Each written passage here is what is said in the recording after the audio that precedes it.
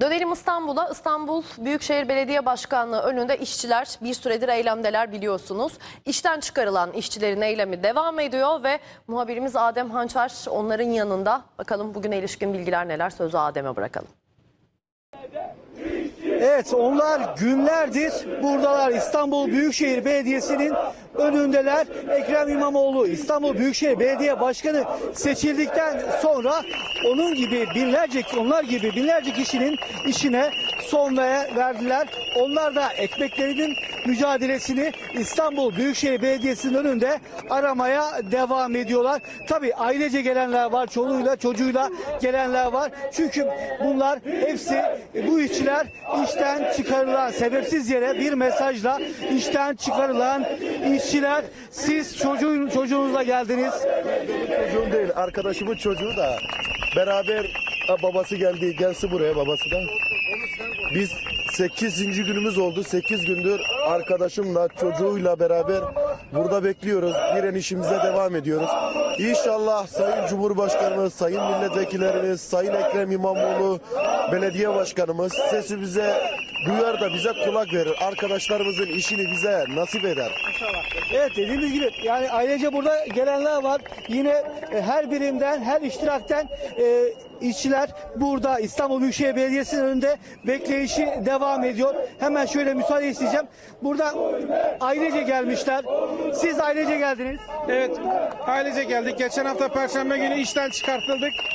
Pazartesi okul başlayacak. Oğlum burada, kızım evde. Nasıl getireceğiz okula bilmiyorum. Sen geldin. Başkanıma Baban soruyorum. Evet. Ee, babam, Ence, ablamla beni nasıl işe götürecek onu bilmiyoruz. İşten çıkartıldık. Nasıl eşyalar alacak onu bilmiyoruz. Ee, Yani mağdur durumdayız başkanımız. okulla başlayacak. Ee, okul pazartesi günü okul başlayacak. Ne zaman gideceğiz? Siz neler söyleyeceksiniz? Ben de çok üzgünüm. Böyle olmaması lazımdı. Borca girmiştik. Yeni daha kızımı evlendirdim, düğün yaptık. Bayağı bir borcumuz var. Kara kara düşünüyoruz. Ne yap- Geçmiş olsun.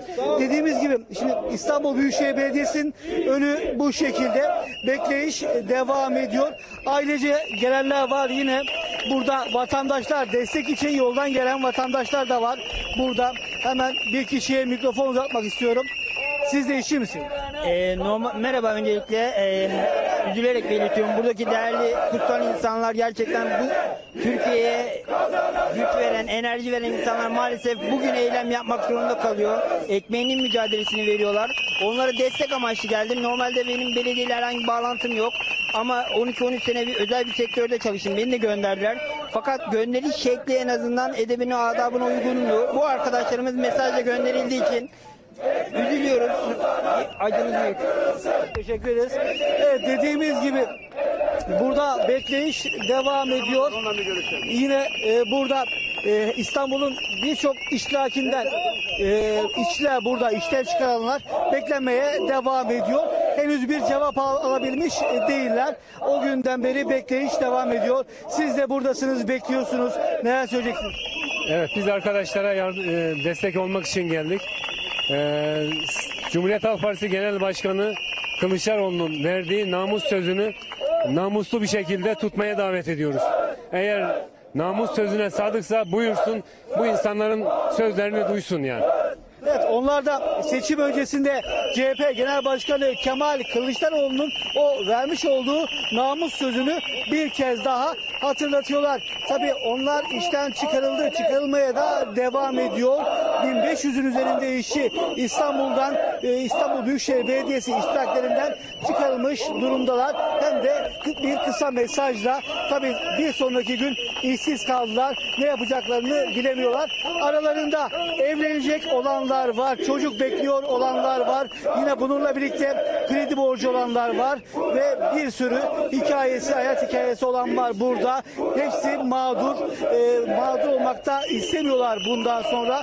Sadece verilen sözlerin tutulmasını istiyorlar.